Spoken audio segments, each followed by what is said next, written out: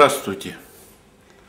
Многие выпускники средней школы номер 25 помнят преподавателя черчения и рисования Александра Арсентьевича Фисюка. Это талантливый художник. Вел изо-студию во Дворце культуры имени Шевченко. Но талантливый человек, талантлив во всем. Он также был председателем литературного объединения мелитопольских поэтов. Прекрасный поэт, который написал много интересных стихов. Об этом человеке сегодня и пойдет рассказ.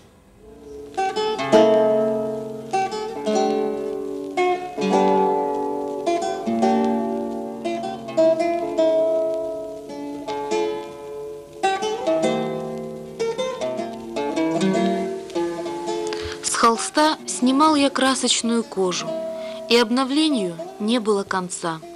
И зритель, критик мой, судил, похоже, еще точнее, чем слепок с мертвеца. А мой двойник судил меня построже, внимая стройной простоте Творца. Ты знай, художнику всего дороже, чтоб говорить от своего лица.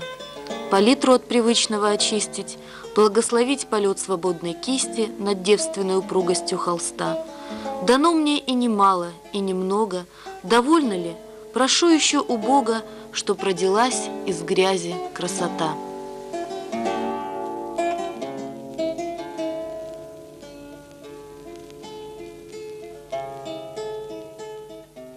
Чувство художника начинается со знакомства с натурой, с природой. Если художник – не обращается к природе, то, может быть, и прямо сказать, никакого творчества нельзя ожидать от него. Значит, творчество начинается с общения с природой. Будет то литературное творчество или творчество живописное, творчество, творчество художника, живописца начинается с природы. Этюд. Этюд – это первое, первое впечатление художника от природы, первое впечатление. Ну, для того, чтобы написать картину, даже самый пейзаж, самый простой, который художник создает, создает, надо написать не один этюд, не один этюд. Вот. Ну вот это, эта картина моя Чайковский. Я очень люблю этого композитора.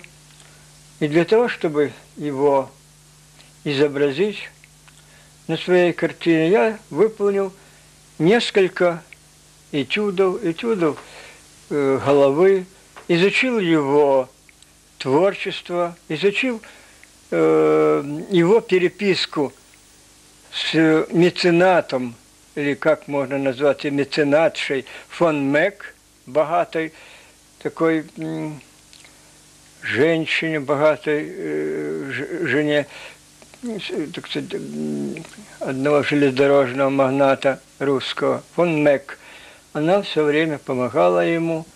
Вот. Читал я эту переписку, читал, значит, знаю его музыку, симфонии его, романсы, вот, знаю и очень люблю. И вот есть у него такая,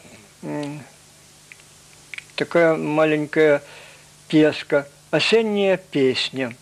вот «Осенняя песня», так это в основе этой картины.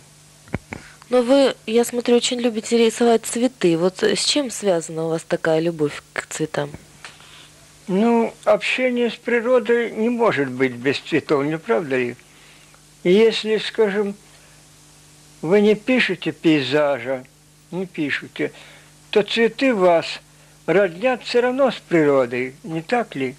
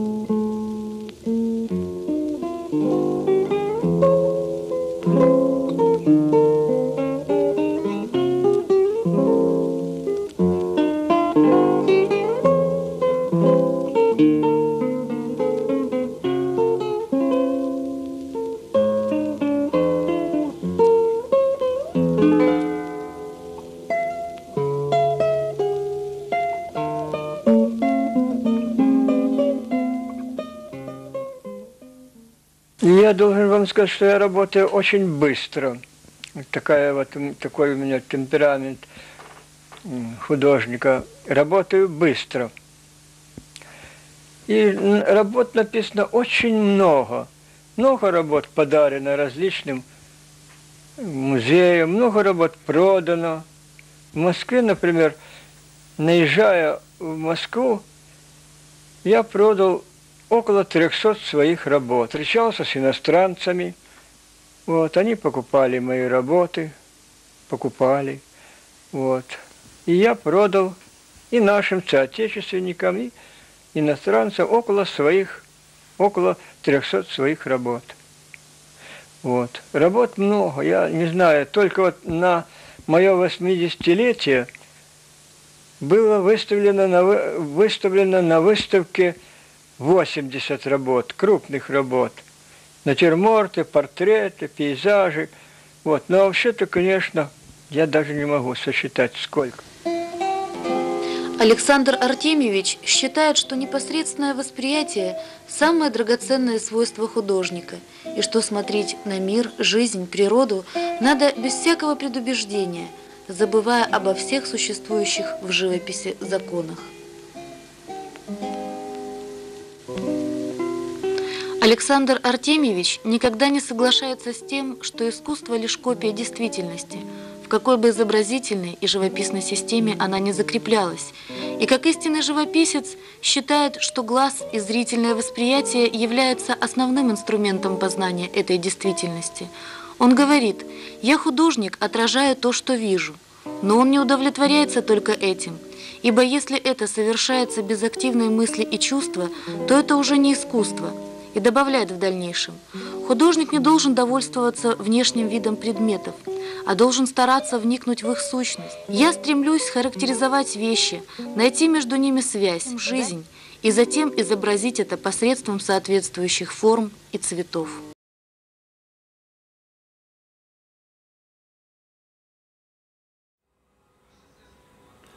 Мелитопольским Шишкиным называли замечательного – художника Василия Петровича Киселева.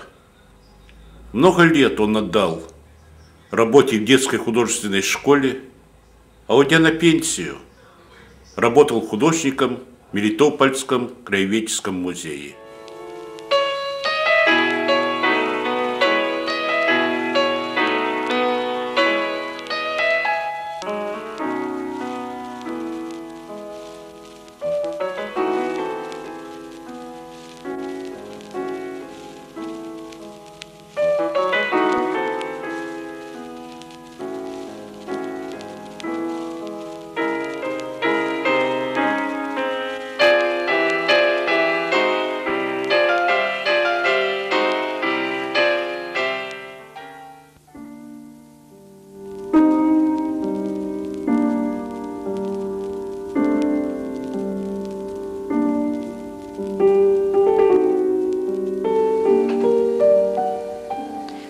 Чарующие дали Киселева символизируют глубину пространства. Они насыщены призывом к странствию в волшебные просторы родной природы.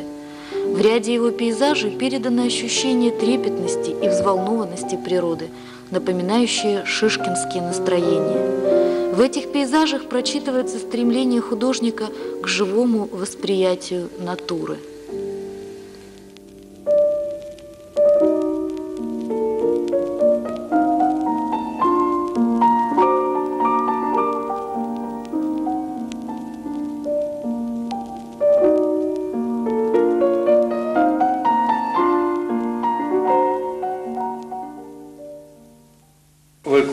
Ставропольский край, я ходил, помню, так запомнил на всю жизнь урок немецкого языка. Ну, это были там вопросы такие, кем ты будешь? Ну, я сказал, я, я не, не знал, как по-немецки художник, а я сказал художником. А учительница подсказала, говорит, малер. Все ха-ха-ха. Мне как-то было ну, действительно нормально. А потом все-таки стал художником. А вы помните свои самые первые работы? Вы всегда рисовали пейзажи? Всегда. Вот вы знаете, если бы вот вы сказали, я бы сейчас где-то у меня сохранился даже альбом, э, когда я в седьмой класс ходил. Все время я рисовал пейзажи. Единственное, что попробовал процесс, отец был с первого дня на фронте, с фотографий решил э, нарисовать э, портрет отца. Вот это единственное. А потом как-то так, все время пейзажи, пейзажи. А уже, конечно, когда я учился, там уже программа требовала портреты. Но я сейчас сожалею о том, что надо было параллельно и портретом заниматься, и пейзажем. А сейчас теперь... Ну а почему все-таки вы рисуете природу? Что вас наталкивает на это? Вот я не знаю, вы знаете, я не могу даже вам сказать. Вот, ну как, я вот посмотрю на красивый закат, на, просмотрю на красивый, даже на красивый стебелек. И так, вот у меня вот это хочется его изобразить, хочется вот показать. Побуждает, да, в какой-то Да, да, да. И особенно вот эта моя жена с Брянщины. Ну, и там я служил, в последние годы. И э, тянет меня эта природа. Почему и пейзажи у меня больше такие. И когда я был студентом, так что все каникулы, все мы там. По два, по два месяца, по полтора там. Ну, вот так вот. А вот я смотрю, у вас очень много картин, где вы рисуете зиму. Это ваше, наверное, любимое время года да. или почему? Ну как, мне нравится все. Ну, в основном, да. В основном, да. Почему? Потому что понимаете, в этих пейзажах зимних э, как-то вот можно больше проявить себя. Вот я не знаю, конечно, кто я по натуре, я не обращался никогда к психиатру, ничего. Но вот я чувствую, что вот я такой, ну, ну вот меня тянут нежность, вот тона такие были э, нежные. Вот. А там же в зиме больше преобладает белого белое, а это очень трудно, чтобы в белом э, показать и форму, и пейзаж, то есть линейр, и пространство. Очень трудно. Там надо очень тонко чувствовать вот этот цвет. Поэтому, может быть, и поэтому и тянет меня больше этого. А вот э, и пейзажи уже вот это в последнее время ну, просят тут, э, вот такое-то, такое-то яркое солнце, яркое так. Вот. А я так больше мне, когда мягкий свет, мягкое, это так, больше так. Может быть, поэтому. Ну а как часто вы выставляетесь в последнее время?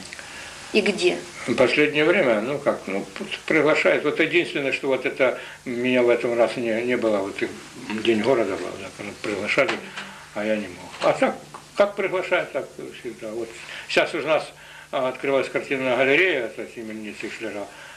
А, я все То есть там тоже можно посмотреть на ваши работы? Да, да, можно посмотреть. Ну, Две работы я подарил уже им. Музею, да? Свою, да, свои работы подарил. Ну, а сейчас последняя выставка, это было Дню Победы, посвящена, я участвовал, в две картины было, и одна осталась там, она как раз по теме. Это осталось там, ну, я думаю, вот пока Алексей Николаевич не спрашивает у меня, я думаю, я оставлю там, если выйдет. Если им понравится нравится. А вот вы рисуете в такой реалистической манере. А как вы относитесь к новым направлениям в искусстве? Вы знаете, более современным. Более современным. Я вообще к художникам, к любому направлению отношусь э, доброжелательно. Почему? Я считаю так, что я не могу стать Шишкиным, я не могу стать другим художником, но я хочу быть собой. Почему человек, если он, вот, он хочет так, вот хочешь, почему мы говорим, что это плохо? Нет. Но вот э, понимать их, некоторые мне нравятся, некоторые не нравятся. Как естественно, и хотя бы и эти тоже реалистические тоже могут кому-то нравиться, кому-то нет. Ну так, я доброжелательно отношусь, но чтобы так, э, надо понимать, вы понимаете, надо понимать. Василий Киселев приносит в пейзаж чувство меры и красоты. Он упорядочивает его формы, подчиняя законам гармонии.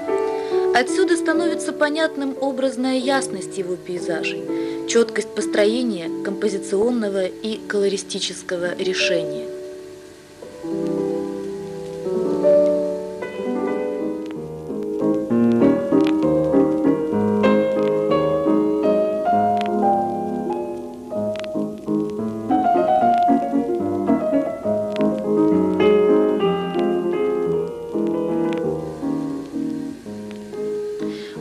Мало композиционно организовать картину, говорит Василий Петрович.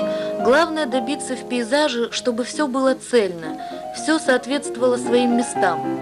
Главное – увидеть общий тон, общую светосилу, выражающую конкретное состояние природы.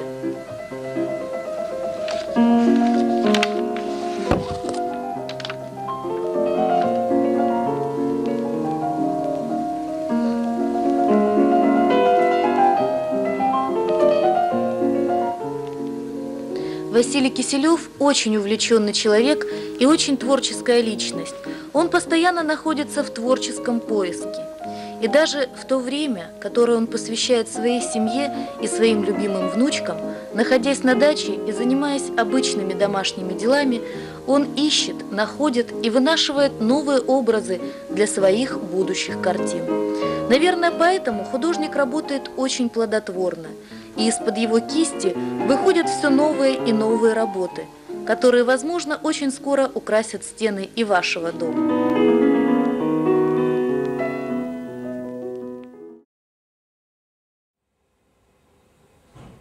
На сегодня очередной выпуск подошел к концу. Всего вам доброго. До свидания.